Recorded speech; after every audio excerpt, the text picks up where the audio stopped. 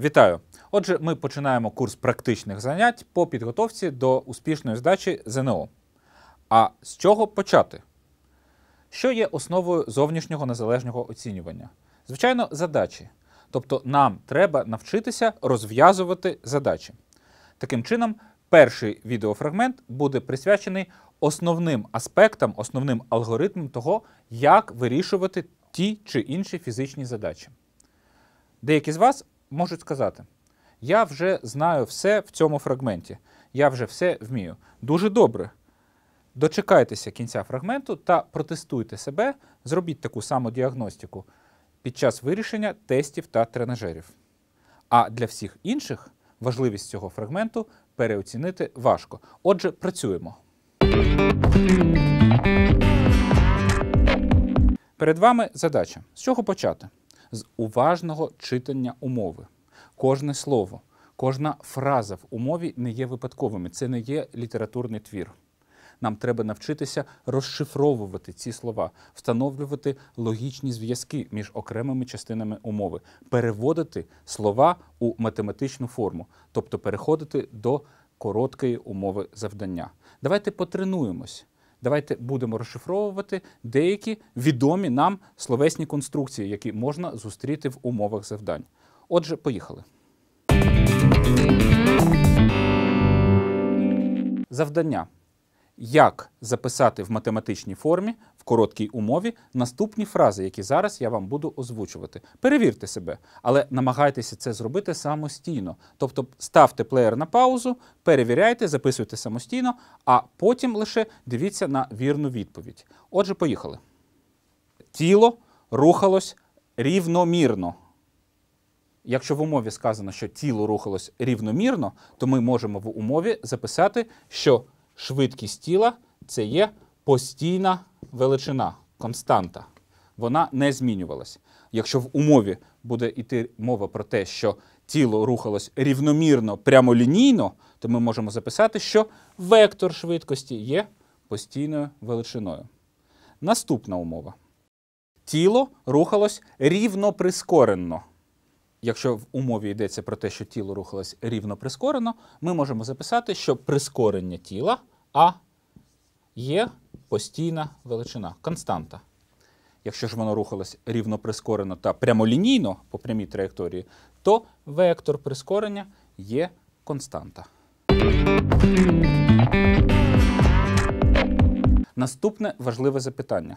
Воно може здаватися дуже простим, але я вам гарантую, що дуже часто проблеми виникають саме на етапі запису умови.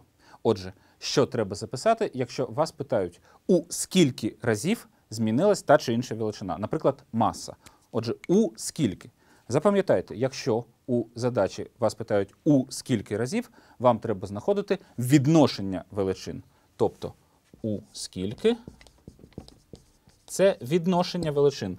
М2, наприклад, маса до М1. Дуже часто питають, на скільки процентів змінилась величина. В такому випадку, проценти, якщо нас питають, треба шукати наступну комбінацію. Це треба шукати М2 мінус М1 зміна маси до М1, до початкової маси. Або можна так записати М2 до М1 мінус 1. Це, якщо питають, на скільки процентів змінилась величина. На скільки процентів? Це буде такий місток до наступного запитання. А що записати, якщо питають, наскільки змінилась та чи інша фізична величина? Наприклад, змінилась температура.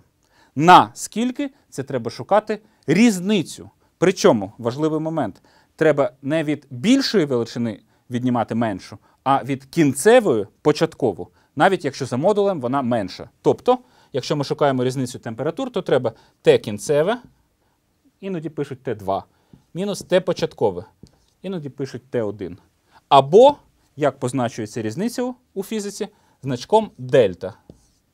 Власне кажучи, і не тільки у фізиці. Дельта Т зміна температури, дельта М зміна маси. Наприклад, тут, бачите, це дельта М. Дельта L зміна довжини та інше. Отже, у скільки це відношення, наскільки це різниця. Запам'ятайте це. Наступне запитання: як записати у умові наступну фразу? Тіло відривається від поверхні. А ось це запитання це важкий момент для багатьох учнів.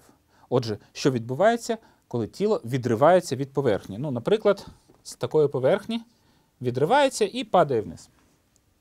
Що відбувається у момент відриву? Тіло припиняє тиск на поверхню. А якщо воно припинило тиск на поверхню, то і сила реакції поверхні, сила реакції опори становить- становиться нульовою. Ось що має з'явитися в умові задачі. Якщо в умові йдеться про те, що тіло відривається від поверхні, ви маєте записати, що сила реакції опори равна нулю. Ще один останній для відеофрагменту приклад, а інші приклади ви будете розглядати під час роботи із конспектом та тестами. Отже, як записати в умові тіло вільно падає. Якщо в умові йдеться про те, що тіло вільно падає, треба згадати, а що таке вільне падіння. Вільне падіння це рух тіла під дією тільки сили тяжіння. Тобто прискорення такого руху дорівнює прискоренню вільного падіння. G дорівнює 9,8 метрів на секунду в квадраті, або можна брати 10 метрів на секунду в квадраті. Саме цей запис має з'явитись у короткій умові. Якщо у умові повній йдеться про те, що тіло вільно падає. Причому немає різниці, так воно падає, чи воно рухається під кутом до горизонту. Вільне падіння, значить, пишемо G дорівнює 9,8 метрів на секунду в квадраті. Як я вже казав, це лише частина типових фраз з розділу механіка, з якими ми зустрічаємось, коли читаємо умову задачі. Всі інші фрази ви можете побачити в конспекті або в тестах. Отже, крок перший уважно читаємо умову. Переводимо кожну фразу, кожне слово у математичний язик і записуємо коротку умову. Все те, що з'являється в задачі під словом дано. Це крок перший. Це ми маємо зробити. Крок другий. А що робити, якщо умова записана? Що треба робити далі?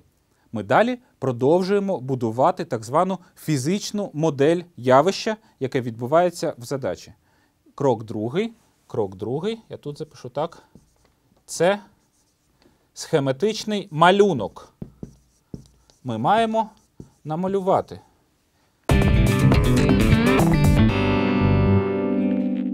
Отже, необхідно накреслити малюнок або схему. На цьому малюнку треба обов'язково вказати всі векторні величини, які зустрічаються в задачі. Ну, наприклад, швидкості, прискорення, сили, імпульси, напруженості електричного поля, як- якщо ми говоримо про електрику, і так далі. Ви можете сказати, чи у всіх задачах потрібен малюнок. Іноді ні. Ну, наприклад, задачі на розрахунок кількості теплоти. Але у таких розділах, як механіка, е, оптика, електрика, електростатика, малюнок обов'язковий. Він вам дуже і дуже допоможе. Отже, які є певні моменти, на яких треба зосередитись, коли ми малюємо, ну, наприклад, в динаміці. Працюємо. Перше. Як зобразити сили, які діють на тіло? Де прийнято показувати початок вектора сили? Як правило, всі сили малюють прикладеними до центра тіла, центра тяжіння, центра мас його ще називають, як в цьому випадку, коли ми намалювали сили, які діють на тіло, розташоване на похилій площині. При цьому ми розуміємо, що тертя відбувається між поверхнями тіл, а не між центрами. Тіло тисне на опору, і сила реакції опори теж вона десь тут має бути зосереджена, а не від центра. Але для зручності, як правило, всі сили малюють прикладеними саме до центру. Користуйтесь цим. Як обрати вісі координат під час побудови малюнку? Взагалі-то кажучи, від вибору системи координат вірна відповідь не зміниться.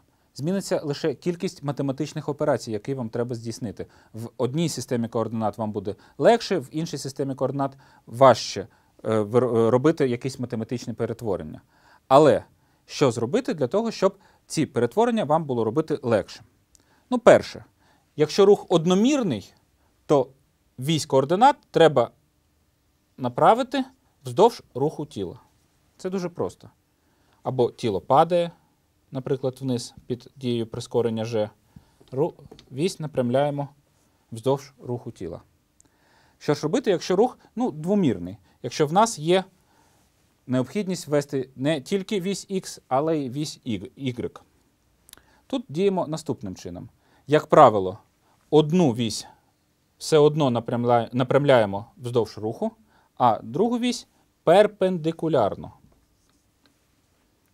Ви можете запитати, а якщо ми оберемо таку систему координат x, е, y x відповідь не зміниться. Але вам буде важче. Вам буде треба е, проєктувати і силу тертя, і силу реакції опори, і силу тяги на вісь, яка напрямлена під певним кутом до них.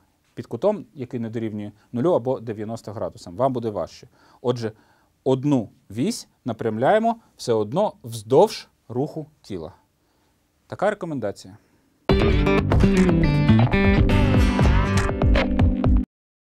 Таким чином, на етапі запису короткої умови та малюнку ми з вами моделюємо фізичну ситуацію, яка запропонована в умові. Тобто ми будуємо фізичну модель. Щоб закінчити будову фізичної моделі, треба зрозуміти, а якими законами можна описати цю ситуацію, ситуацію у умові. Щось можна записати у вигляді формули, щось треба пам'ятати, щось треба подивитись у таблиці, але після того, як ми встановимо всі логічні зв'язки, ми можемо казати, що фізична модель побудована.